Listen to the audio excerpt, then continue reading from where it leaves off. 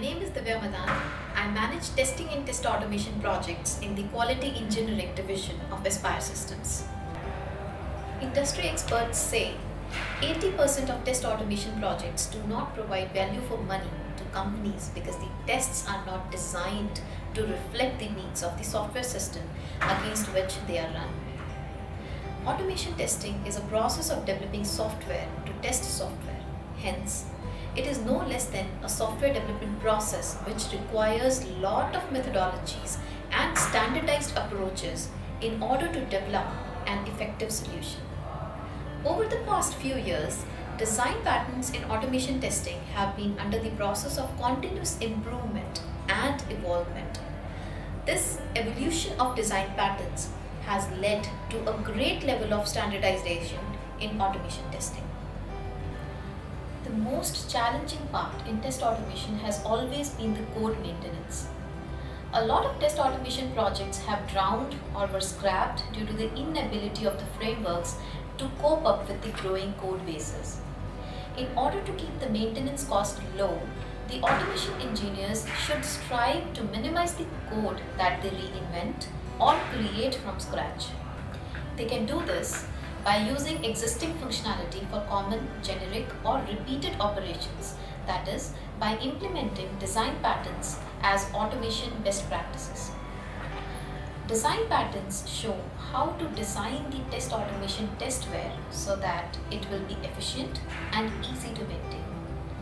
The design patterns can be implemented by adopting the most apt framework design and choosing right model of implementation for example page objects, page factory, etc. The various automation approaches that you could choose here could be data driven, keyword driven, hybrid and latest being behavior driven.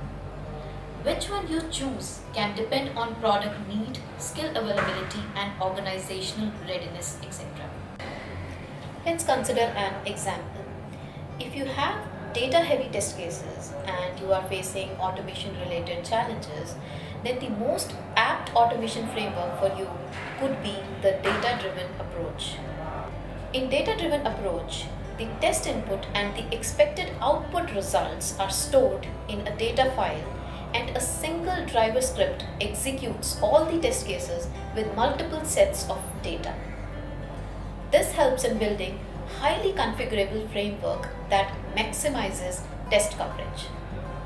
Another example could be of behavior driven test approach, also called BDT, which focuses on the behavior rather than the technical implementation of the software. Here, tests are written in the form of simple English language.